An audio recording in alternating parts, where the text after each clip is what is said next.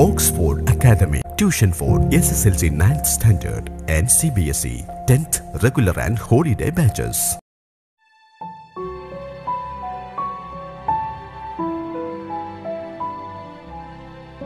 എല്ലാവർക്കും ഓക്സ്ഫോർഡ് അക്കാദമിയുടെ ബയോളജി ക്ലാസ്സിലേക്ക് സ്വാഗതം ഇന്ന് നാം പഠിക്കാൻ പോകുന്നത് പത്താം ക്ലാസ്സിന്റെ ബയോളജിയിലെ നാലാമത്തെ ചാപ്റ്ററായ കീപ്പിംഗ് ഡിസീസ് എവേ അല്ലെങ്കിൽ അകറ്റി നിർത്താം രോഗങ്ങളെ എന്ന പാഠഭാഗത്തിന്റെ മൂന്നാമത്തെ ഭാഗമാണ് മുമ്പത്തെ വീഡിയോകൾക്കായി നമ്മുടെ ചാനലിലെ S S L C biology എന്ന പ്ലേലിസ്റ്റ് നോക്കുക. കഴിഞ്ഞ വീഡിയോകളിലൂടെ ബാക്ടീരിയ ഡിസീസ് അഥവാ ബാക്ടീരിയ രോഗങ്ങളെക്കുറിച്ചും വൈറൽ ഡിസീസ് അല്ലെങ്കിൽ വൈറസ് രോഗങ്ങളിൽപ്പെട്ട നിപ്പ എയ്ഡ്സ് എന്നിവയെക്കുറിച്ചുമാണ് ഇന്ന് നമുക്ക് പഠിക്കേണ്ടത് മറ്റൊരു വൈറസ് രോഗമായ ഹെപ്പറ്റൈറ്റിസ് എന്താണ് എന്നതാണ്. Hepatitis is a liver disease hepatitis is also caused by virus അതായത് ഒരു കരൾ രോഗമാണ് ഹെപ്പറ്റൈറ്റിസ് ഇതും ഉണ്ടാകുന്നത് വൈറസ് മൂലമാണ്. Inflammation of the liver is the major symptom അതായത് കരളിനുണ്ടാകുന്ന വീക്കമാണ് ഹെപ്പറ്റൈറ്റിസ് എന്ന രോഗത്തിന്റെ പ്രധാനപ്പെട്ട ലക്ഷണം. When the flow of bile secreted by the liver is blocked, an increase in the level of bile pigment called bilirubin in the blood is noticed. അതായത് കരൾ ഉൽപ്പാദിപ്പിക്കുന്ന പിത്തരസത്തിന്റെ പ്രവാഹം തടസ്സപ്പെടുന്നത് വഴി പിത്തരസത്തിലെ ബിലിറുബിൻ എന്ന വർണവസ്തുവിന്റെ അളവ് രക്തത്തിൽ കൂടുന്ന അവസ്ഥയാണിത്. This imparts the dark yellow colour to the mucus membrane white portion of the eye and nail അതായത് ഈ ബിലിറുബിൻ എന്ന വർണവസ്തുവിന്റെ അളവ് കൂടുന്നത് മൂലം ശ്ലേഷ്മ സ്ഥലത്തിലും കണ്ണിന്റെ വെള്ളയിലും നഖത്തിലും കടും മഞ്ഞ നിറം കാണപ്പെടുന്നു. ഇതാണ് രോഗിയുടെ ബാഹ്യലക്ഷണം. Disease get transmitted to the contaminated food and water blood components and excreta of the patient certain hepatitis do get transmitted in the same way of transmission of HIV. മലിനമായ ആഹാരത്തിലൂടെയും ജലത്തിലൂടെയും രോഗിയുടെ രക്തഘടകങ്ങൾ വിസർജ്യ വസ്തുക്കൾ എന്നിവയിലൂടെയും രോഗം വ്യാപിക്കുന്നു. കൂടാതെ എച്ച് ഐ വി പകരുന്ന അതേ സാഹചര്യങ്ങളിലൂടെയും ചില ഇനം ഹെപ്പറ്റൈറ്റിസ് രോഗങ്ങൾ പകരുന്നുണ്ട്. ഇത്രയുമാണ് ഹെപ്പറ്റൈറ്റിസ് എന്ന രോഗവും അതിന്റെ കാരണങ്ങളും ആ രോഗത്തിന്റെ ലക്ഷണങ്ങളും. ഇനി അടുത്തതായി നമുക്ക് ഫംഗൽ ഡിസീസ് അഥവാ ഫംഗസ് രോഗങ്ങളെക്കുറിച്ച് പഠിക്കാം.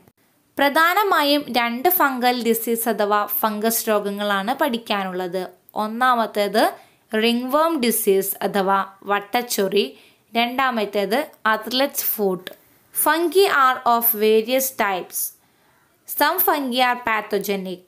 The toxins produced by the fungi cause disease അതായത് പൂപ്പലുകൾ ഉൾപ്പെടുന്ന വിഭാഗമാണ് ഫംഗസുകൾ. ചില ഫംഗസുകൾ രോഗകാരികളായി പ്രവർത്തിക്കുന്നു.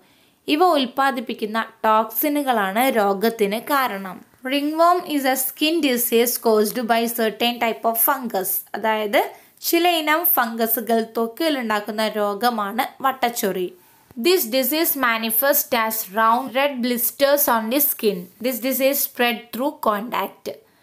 വട്ടത്തിലുള്ള ചുവന്ന തിണർപ്പുകളായാണ് രോഗം പ്രത്യക്ഷമാകുന്നത് സ്പർശനത്തിലൂടെയും സമ്പർക്കത്തിലൂടെയുമാണ് ഈ രോഗം ഒരാളിൽ നിന്നും മറ്റൊരാളിലേക്ക് പകരുന്നത് athlete's foot is a fungal infection which manifest on the sole of the foot and between the toes അതായത് കാൽ വിരലുകൾക്കിടയിലും പാദങ്ങളിലും ഫംഗസുകൾ ഉണ്ടാക്കുന്ന രോഗമാണ് athlete foot appearance of reddish scaly rashes that cause itching is the major symptom അതായത് ചൊറിച്ചിലുണ്ടാക്കുന്ന ചുവന്ന ശൽക്കങ്ങൾ പ്രത്യക്ഷപ്പെടുന്നതാണ് മുഖ്യ രോഗലക്ഷണം. Pathogens enter through the toes when they come in contact with contaminated water and soil അതായത് മലിനജലവും മണ്ണുമായുള്ള സമ്പർക്കം വഴി കാൽ വിരലുകൾക്കിടയിലൂടെയാണ് രോഗാണുക്കൾ പ്രവേശിക്കുന്നത്. ഈ രോഗവും കോണ്ടാക്ട് അഥവാ സ്പർശനത്തിലൂടെ പകരുന്ന രോഗമാണ്. കാരണം അത്ലറ്റ്സ് ഫുഡുള്ള ഒരു വ്യക്തി ഉപയോഗിക്കുന്ന ചെരുപ്പ് ഉപയോഗിക്കുന്നതിലൂടെ ഒരാളിൽ നിന്ന് മറ്റൊരാളിലേക്ക് ഈ രോഗം പകരാൻ കാരണമാകും. ഇതോടെ രണ്ട് ഫംഗൽ ഡിസീസ് അഥവാ ഫംഗസ് രോഗങ്ങൾ ഏതെല്ലാമെന്നും അവയുടെ ലക്ഷണങ്ങളും കാരണങ്ങളും വ്യക്തമായല്ലോ. ഇനി നമുക്ക് പഠിക്കാനുള്ളത് പ്രോട്ടോസോവ ഡിസീസ് അഥവാ പ്രോട്ടോസോവ മൂലമുണ്ടാകുന്ന രോഗത്തെക്കുറിച്ചാണ്. മലേറിയ അഥവാ മലമ്പനിയാണ് ഇതിനൊരു ഉദാഹരണമായി നൽകിയിരിക്കുന്നത്.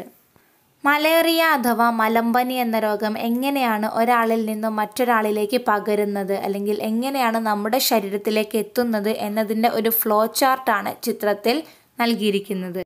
ഇവിടുത്തെ പാത്തോജൻ അഥവാ രോഗകാരി എന്നത് പ്ലാസ്മോഡിയം എന്ന ഒരു പ്രോട്ടോസോവയാണ്. ഈ രോഗത്തെ ഒരാളുടെ ശരീരത്തിൽ നിന്നും മറ്റൊരാളുടെ ശരീരത്തിലേക്ക് എത്തിക്കാൻ സഹായിക്കുന്ന വാഹകനെയാണ് വെക്റ്റർ അല്ലെങ്കിൽ വാഹകർ എന്ന് വിളിക്കുന്നത്. ഇവിടെ വെക്റ്ററായി പ്രവർത്തിക്കുന്നത് ഫീമെയിൽ അനോഫിലസ് മൊസ്കിറ്റോ അതായത് അനോഫിലസ് പെൺ കൊതുകുകളാണ്. ഈ രോഗാണുക്കൾ ആരുടെ ശരീരത്തിലേക്കാണോ എത്തുന്നത് അവയെയാണ് ഹോസ്റ്റ് അല്ലെങ്കിൽ ആതിഥേയ ജീവി എന്ന് വിളിക്കുന്നത്.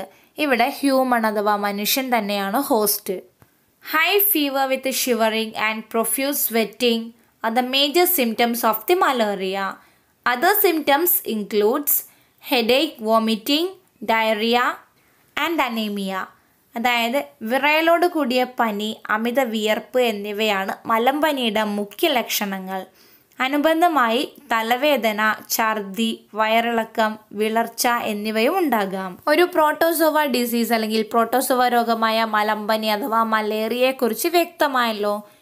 ഇനി നമുക്ക് അവസാനമായി വേം ഡിസീസ് അല്ലെങ്കിൽ വിരകൾ മൂലമുണ്ടാകുന്ന രോഗത്തെക്കുറിച്ചാണ് പഠിക്കാനുള്ളത്.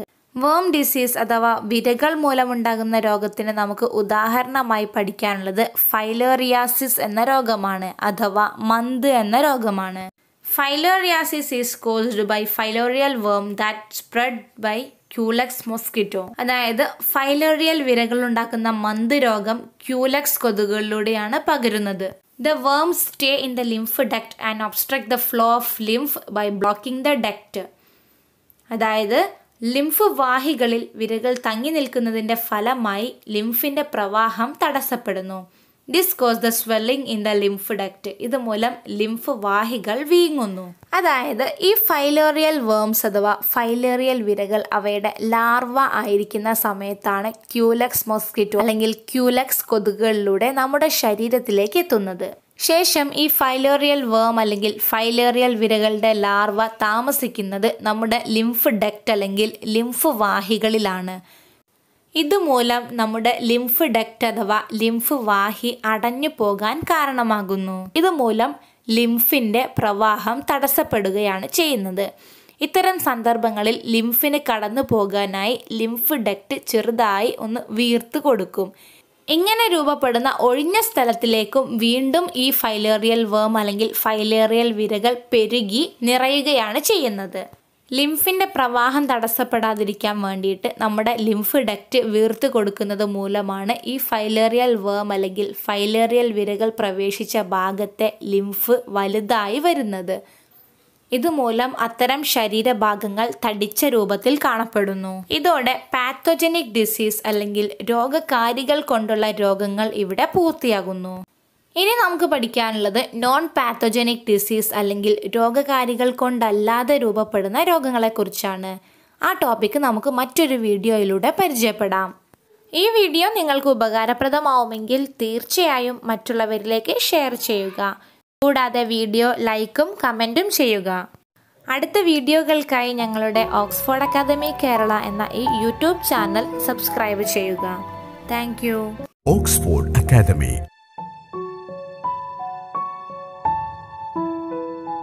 ശരാശരിക്കാരായ വിദ്യാർത്ഥികളെ പോലും മികച്ച നിലവാരത്തിലേക്ക് ഉയർത്തുന്ന അധ്യാപന രീതി. സൗജന്യ നൈറ്റ് ക്ലാസുകൾ മാത്സ് ഹിന്ദി ഇംഗ്ലീഷ് പഠന ക്യാമ്പുകൾ ലൈബ്രറി സൗകര്യം. നിങ്ങളുടെ അഡ്മിഷൻ ഇപ്പോൾ തന്നെ ഉറപ്പാക്കുക. Oxford academy.